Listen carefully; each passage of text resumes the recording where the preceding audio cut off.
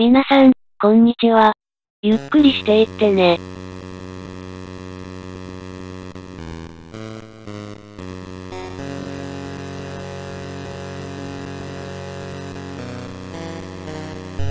サンソフトより1989年12月22日に、ファミコン用ソフトとして発売されたアクションゲーム。アメコミやテレビ、映画で爆発的人気を呼んだ、バットマンを題材とするゲーム作品。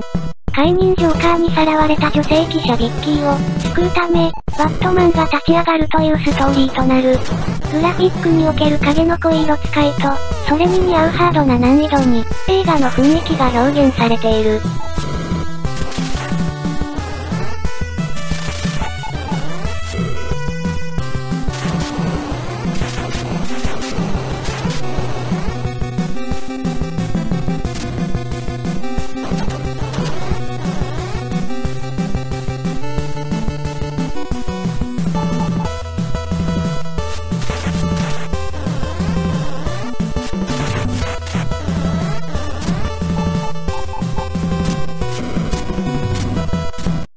ストーリー。バットマン、月夜に悪魔と踊ったことがあるか、欲望渦巻く、犯罪都市ゴッサム、しての、人々に闇の支配者、ジョーカーの待てが伸びる。消息を絶ったビッキーを、助け出し、宿敵、ジョーカーを倒せ。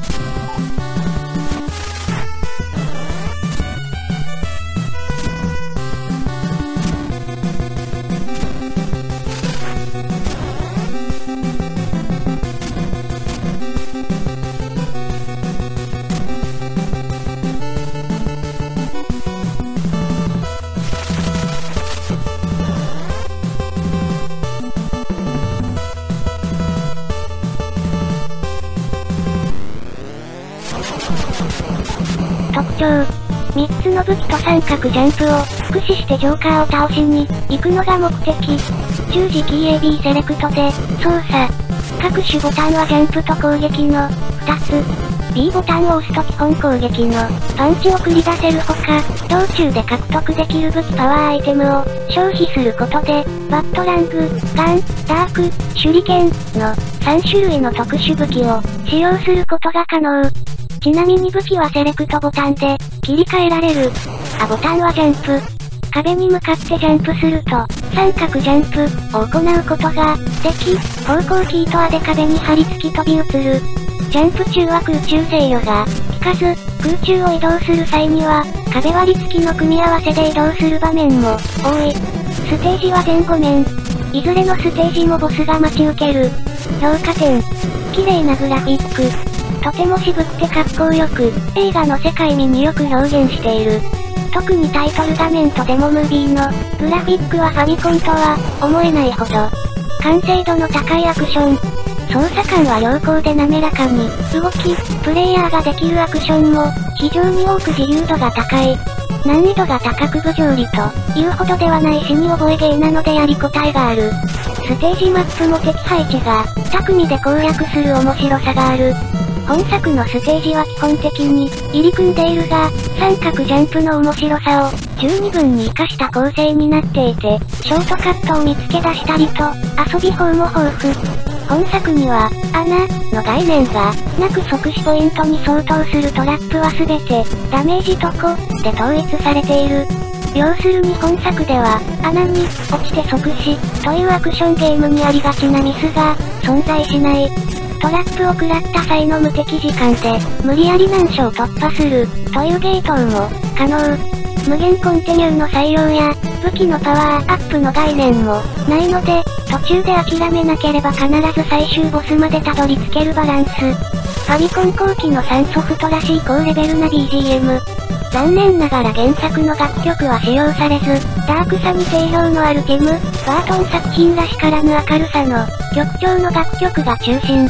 だが曲自体はいずれもハイレベルで、近い時期に発売された、グレムリンに、2、シュ、タン、セイ、や、ラフワールド、と負けず劣らずと、言える。特に2、ごめん BGM は哀愁漂うメロディで、本作を象徴するどころか、数あるファミコン音楽の中でも人気が高い。海外版では一面と使用ステージが逆転していることから、本来の一面 BGM を差し置いて実質本作のメインテーマ曲にも当たる。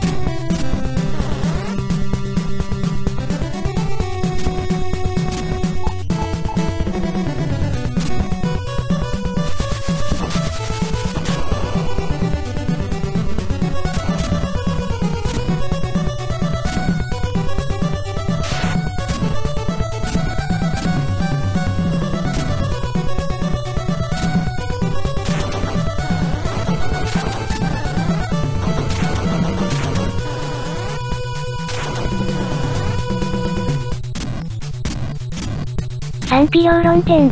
敵キャラクターについて。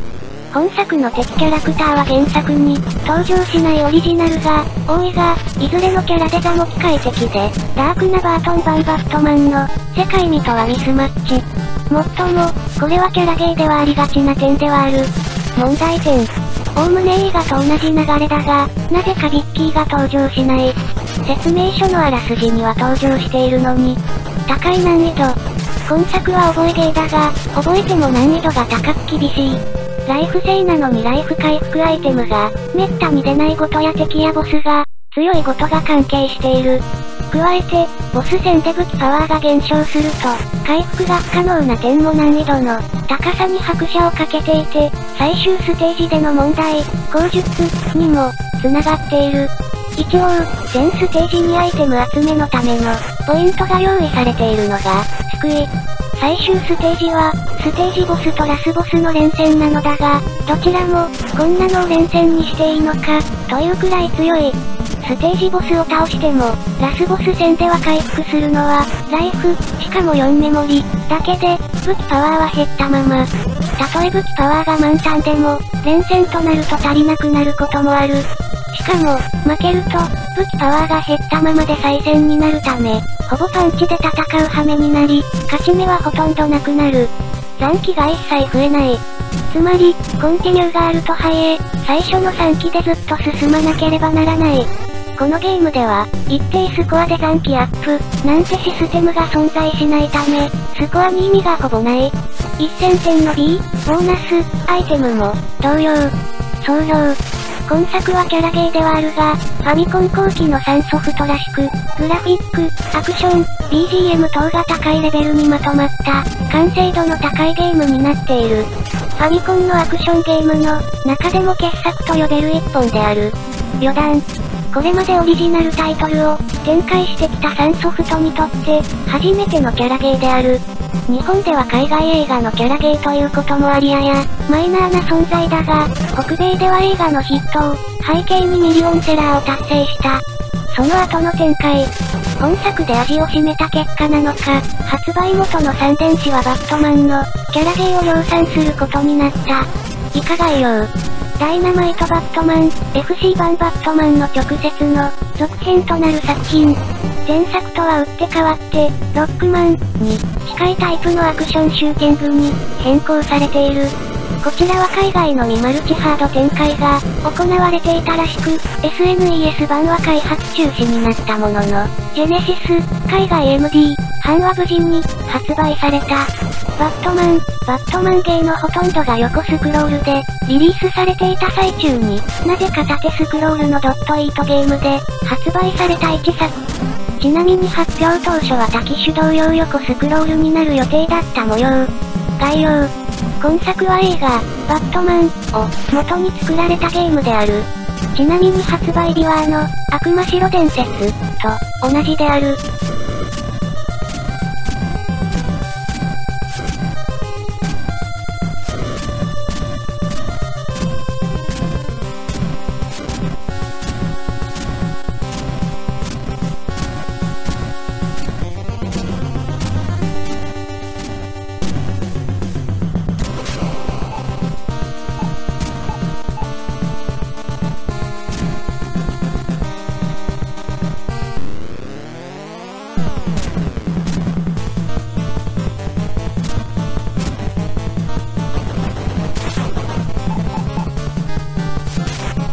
ゲーマーの意見。情熱意見。良い点、操作するバットマンは姿形、パンチ、3種の武器使用、飛び移りなど再現度が高く、格好良い。でもシーン演出や BGM も、出来が良く、敵には SF っぽい素具はないのも、デテールが雰囲気は壊してなかった。悪い点、後半から難易度が上がる。コンティニューアレド、当該ステージの最初に、戻されるのは相当面倒。ボス戦ならボス戦から再開にして、欲しかった。総合評価、当時のファミコンキャラゲーでは頑張った作品だと、思う。評価は、普通、よりの、良い、で、消しゴム意見。スタートボタンが武器セレクト、セレクトボタンでポーズ。これは、この作品をプレイして最初に、つまずいたところです。内容は、ジャック、ニコルソンの開演が、光った、バットマン、をモチーフにした5ステージ構成の、アクション。操作系統は、十字キーで移動、しゃがむ、A ボタンでジャンプ、B ボタンで攻撃、スタートボタンで武器セレクト、パンチ、ブーメラン、飛び道具、正面にまっすぐ飛ぶサンウェイショット、スパイダーマンのように壁に、張り付くことも壁から壁に、飛び移ることもできます。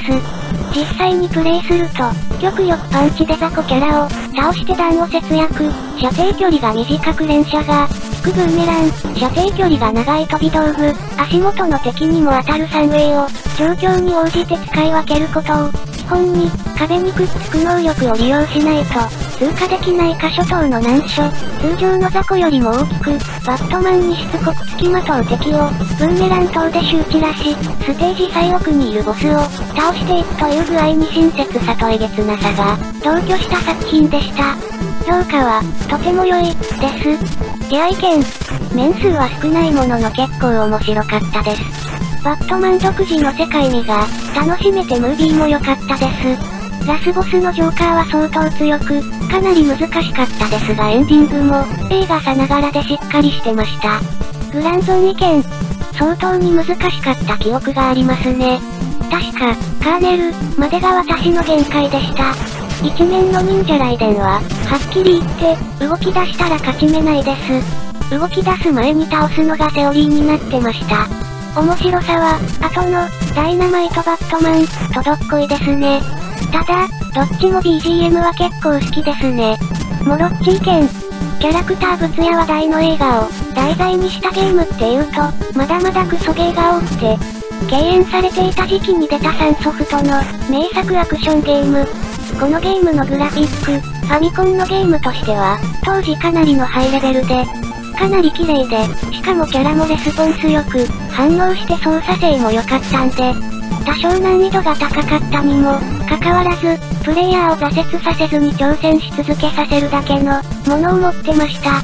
パッケージもブラックを基調に、渋いデザインで目立ってたし、重い質使いゲームです。カスタマー意見、89年にマイケル、キートンと、ジャック、ニコルソン出演の、映画バットマンに合わせたゲーム化が、3ソフトによって行われました。映画はジョーカーを演じたジャック、ニコルソンのハマりっぷり、プリンスの音楽、ゴッサムシティの怪しげな雰囲気が、素晴らしかったのですが、ファミコンのバットマンもなかなかの、完成度です。まず耳に惹かれるのがサウンドの、良さ。オープニングシーンの驚異的に、重厚なグラフィックに乗って、これまた勝るとも劣らないヒロイックなサウンドはプレイヤーを、嫌顔にも盛り上げてくれます。バットマンのギミックもパンチや、ブーメランなどを使った多彩な攻撃方法に、加え、壁を蹴り上げて登る三角飛びなど、単純なアクションゲームとは、一味違ったひねりがあります。その分難易度が高いですが、全体的なアクションゲームとしての、完成度は高いのでプレイの、価値はあります。